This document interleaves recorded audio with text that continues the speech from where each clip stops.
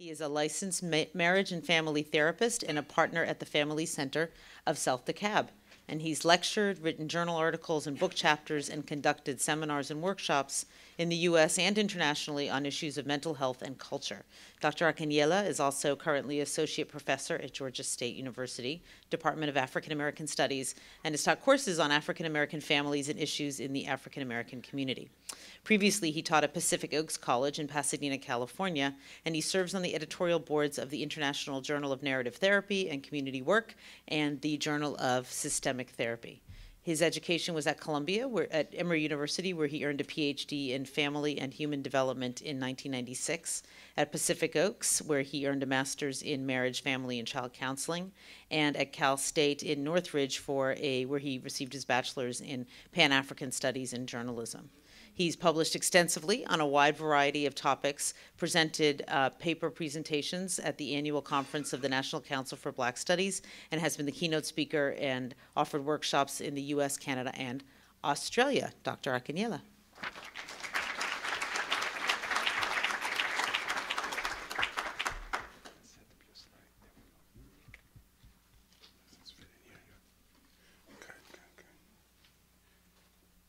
Y'all ever heard the term TMI?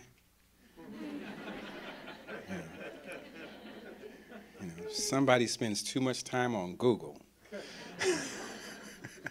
How's everybody doing? I'm, I've got seven minutes too, right? Okay, okay. I don't know if I can do as well as you did, but we're going to do seven minutes.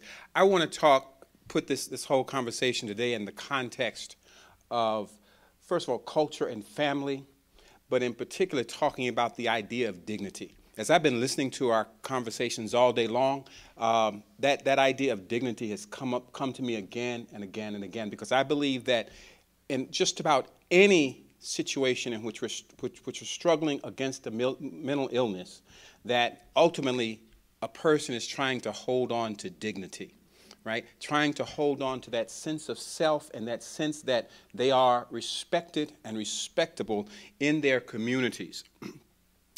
The work that I do is largely in uh, an international therapeutic community called narrative therapy. In particular, uh, the work that I do, I call it testimony. And for folks who've lived here in the South for a while, we're not talking about uh, going to court, right? At least in my community, when somebody has a testimony, that's a spiritual question. That's, that's a cultural question. And so we talk about testimony and testifying. That's telling a story. And ultimately, internationally, the whole idea of narrative is that we constitute our lives through storytelling.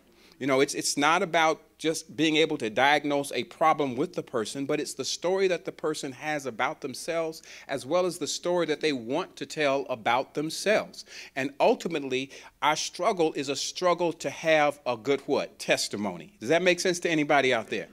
All right. Um, this testimony therapy that I talk about, of course, is grounded in the African American community, but I believe that there are correlates internationally and cross culturally with what we're talking about. First of all, as I want to particularly talk to people who are doing mental health work. Who are the mental health workers out there? This, this is particularly for us because I think the other message that has come across today is that there, there is too little work being done around this particular problem. Am I right?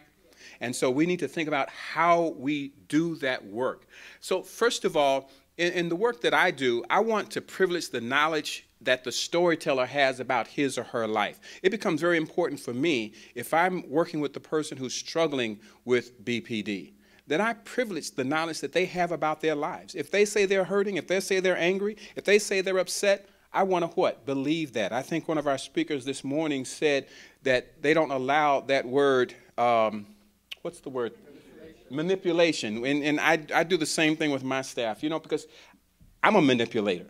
Manipulation is not a problem. We all do it. It just means, you know, when you know, when my children was 16 and they were trying to figure ways to get out of the house on the weekend, they manipulated me, right? When I want to buy something that I know that we can't afford and I talk to my wife and convince her and I do something nice for her, I'm manipulating her. So manipulation is not the problem. You know, and, and, and so we want to privilege the knowledge that the storyteller, the person who's telling this story, who's giving this testimony, has about themselves. And then this is most importantly, I think, from what I want to talk about today.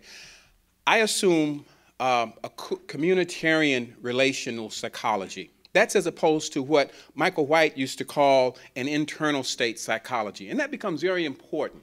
Communitarian uh, psychology assumes, first of all, using an African idea of the self. I am because we are. And because we are, therefore I am. As opposed to that old Descartes thing, I think, therefore I am. In other words, I don't exist in my head. I exist in the relationship between myself and yourself. That's where I find myself. And that takes us up to this question What happens when there is no sense of self? What happens when the connect between myself, me and you, seems broken? If I'm always in struggle looking for a relationship, but it never seems to be there. And so for us mental health workers, it becomes important, first of all, to, to, to, to have this idea that our clients, our, our consumers don't exist in their heads. They exist in that relationship between us and them, between them and their families, between them and their coworkers, wherever it might be. That's where that person exists. And our biggest work is to help people rebuild those bridges in relationship. Um, everybody wants to be known by somebody, and everybody wants to know that somebody allows them to know them. You know, I tell folks that's why, you know, when I was a little kid, I used to like to read the King James Bible, you know, especially in Genesis, where it would say Adam knew his wife, and by the time I could read, I knew what knew his wife meant. you know, I said, oh, wait, that's the good parts, right? I understood that. But what that idea of known, to know someone, that's, that's a level of intimacy. Each of our struggles every day is to know and to be known. It's not enough just to know somebody else. You want to know that somebody knows you. You want to know that somebody, even when you screw up, you can say to them, Oh, you know how I am. And they'll say, Yeah, I know how you are. What's it like when a person, when it seems nobody knows you? Nobody accepts you. Uh, what I'm asking for here is what some of us older older therapists probably learned about as being having empathy for our clients having a sense of empathy for who they are, that becomes an important thing also. And finally, you know, as I, one of the things that I've heard consistently through this day is in, in, in, the literature, there's a lot of talk in terms of BPD about the question of shame. I want to flip the script a little bit on that and, and talk about culturally what does that mean. In the culture that I come from, shame is actually not a bad thing. You know, I come from a shame culture. I come from a culture where my mother and my father, when I went out, said, you know, don't bring shame on this house. Don't forget what your name is. Don't forget who you are when you're out in the street. That's that they they were instilling a sense of shame on me. In other words, shame is about my relationship, how my behavior impacts those who I'm related to. I want to argue that what we often see in people who, who are struggling with uh, uh, uh BPD is not so much shame as it is embarrassment. You see, shame is always relational, and its shame is generally about something that the wider community accepts as this is a, good, a not a good thing that you do. Embarrassment is it doesn't have to be connected to the wider community. It's I feel naked, or I came out of the bathroom and there was some tissue hanging out the back of my belt. right? Now, people are going to laugh just like you did, but once I see the tissue, what do I feel? I feel embarrassed. I feel, what's it like to live a life where it seems almost at every moment you have all eyes on you, you have no clothes on, and you're embarrassed? What's that like to have that kind of experience, right? What's it like, particularly if you come from a cultural context in which your whole sense of identity is on what? Having that relationship. You find you in the relationship. And now that relationship is what? Broken off because all eyes are laughing at you or all eyes are judging you because of who you are, not because of what you've done to others, but because of who you are. That's a powerful thing. Finally, what, what I, I, think it's important to allow people to tell their stories. I use what are called the four healing questions. Um, and these questions are, are important for helping a person find their testimony, find their story. You know, I, I think it's important for either family members or the person who is directly struggling with BPD to be able to tell a story. First of all, every story has to have a context, right? And so, no matter what has happened to a person, and um, it, no matter when we want to look at it, an important question to ask a person is, What happened to you? Somebody might start that story off by talking about being molested as a child.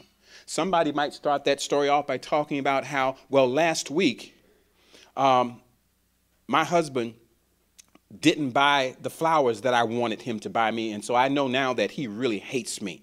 He really doesn't respect me, and I'm really upset about that. Or it might be the husband saying, Hey, you know what? I bought the flower, you know, I bought some flowers the week before, so why is she upset with me? That's what happened to me. The next question I want to know as that story starts being unfolding is how does what happened to you affect you now? I want to what what are the what are the, the context and the implications of this event that's happened in your life, sometimes over and over and over again. Well, I really feel hurt because I don't believe that person loves me. Or I really feel hurt because that person keeps making me the problem over and over again. Or I'm really sad or I'm really angry. Or I can't talk to that person right now. Or I wish that person would talk to me and it hurts me. That's the context of how this thing has impacted your life. And then, thirdly, this is a very important question What gives you the strength to carry on? You know, oftentimes when people are struggling with, with any kind of mental illness, either as the person who is struggling directly with it or as a family member, they forget sometimes that they're still here. They forget sometimes that they have carried on. They forget sometimes that, wow, I'm sitting here in a therapist office as opposed to on a hospital bed somewhere or in a morgue somewhere. Something has helped me to get to this place. It's called, it's that question of hopefulness um, which I think begins to challenge one of the other things that I think happens when people are struggling against BPD that sense of despair. Uh, someone else said earlier this morning that it's, it's, we're talking about more than depression. And as I think about what's more than depression, it's despair, it's nihilism. It's a, that sense of emptiness. How many folks have heard, heard their clients say, I just feel empty? I, I just don't feel like anywhere or anybody that sense of despair that happens. But hey, you know what? You're here now. How did you get here? What's helped you to hold on? That can become a powerful question. And then the final question that I ask is I try to help a person create their testimony. I believe ultimately that our work has to be not only client centered, but it has to be client directed. I believe that people can be experts in their own lives. And so the question becomes what do you need to heal? What I'm asking a person there is, what's your theory of change? Let's work from your theory of change. What, what, what will happen that will look like something different in your life? Those are just those are steps in helping a person create a testimony, create a story for themselves. It gives us an outline, a, a story that they're hoping will happen. It gives us a connection and a work to have with them. And by now, I think my seven minutes are up. And so I'm going to stop here. Thank you very much.